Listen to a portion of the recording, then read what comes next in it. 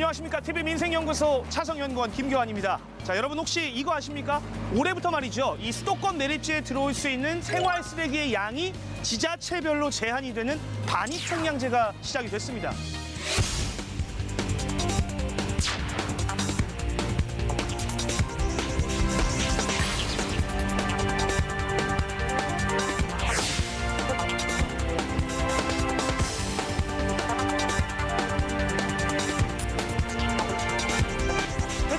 생활 쓰레기는 어떻게 하면 줄일 수 있을까요?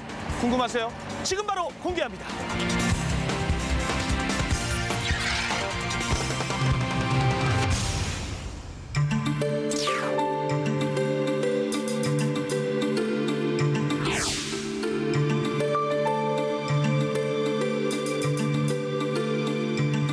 우리 은평구 관내에서 발생되는 그 재활용품이 이쪽으로 다 들어와요. 그래서 그것을 품목별 재질별로 선별 작업을 하는 거예요.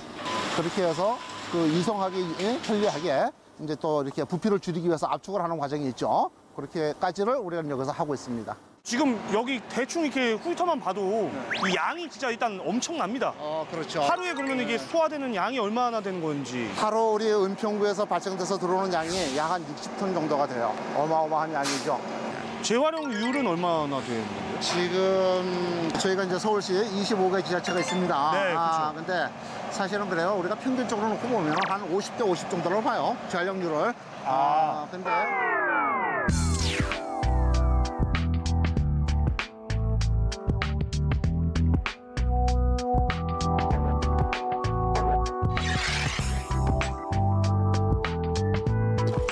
이제 여기서 한번 좀 보실까요?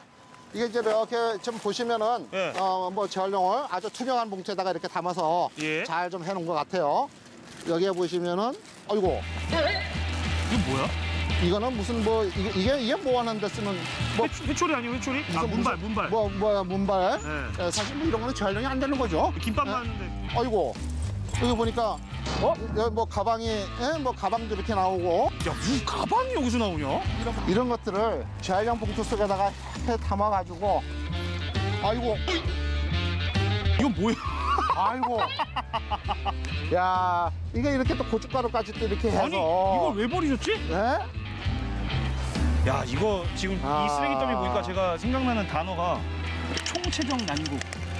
네? 어, 예. 이거 어 잘돼 있는 것처럼 보였는데 실상 속에 들어가니까 이런 것들이 이렇게 나와요. 페트병은 페트병대로, 비닐은 비닐대로 따로 포장을 해서 배출을 해 주셔야 저희가 선별하는데 상당히 도움이 되는 겁니다. 그러니까 비닐만 있는 것도 아니고 말씀하신 것처럼 페트병에 어, 캔까지 있네. 그죠? 그렇죠. 예. 스티로폼도 있고요. 네, 수치로폼도 있고 여기에 보시면 뭐 휴지도 있고 예. 이게 지금 어쨌든 겉면은 스티로폼이잖아요. 그렇죠. 근데 안에 이제 라면 내용물이 이렇게 묻어 있는데 네. 이것도 재활용이 돼요? 이것은 사실은 지금은 재활용이 안 되는 겁니다. 이거는 깨끗하게 씻어줘야 돼요.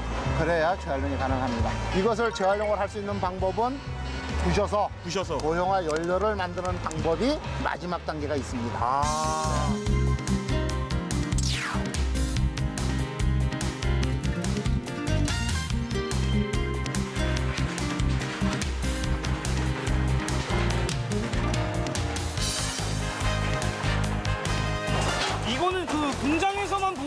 컨베이어 벨트 아닙니까? 예, 예, 그렇죠. 처음에 이제 이렇게 이제 들어와요. 들어오면 맨 앞에서 앞쪽에서는 종이 제거하고, 그 다음에 비닐 제거하고, 페트병 제거하고, 이런 식으로 순차별로 선별을 하고 있어요.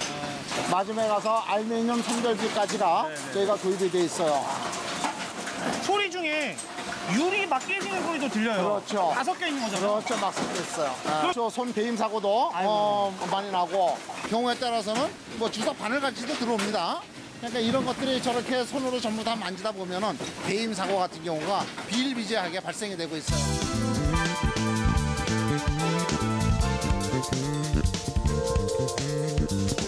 재활용이라고 하는 것은 얘가 깨졌을 때 깨졌을 때 얘를 다시 갈아가지고 분쇄를 해서 다른 병으로 재탄생을 하는 것을 재활용이라고 얘기를 하는 겁니다. 어, 그 선진국에서는 재사용률이 병이 하나가 딱 탄생이 되면은 최소한 40회를 40회를 회전을 합니다. 근데 우리나라는 많이 해야 8회를 한다고 지금 공식적으로 좀 나와 있어요. 두 자리 열 번도 아니고 한 자리 그렇죠. 예.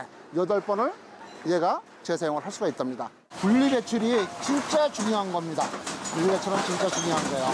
그래서 이거는 어, 우리나라 우리 시민들 의식을 빨리 바꿔서 분리배출에 진짜 참여토록 하고 정부에서는 분리수거 철저하게 해주고 그렇게 해줘야만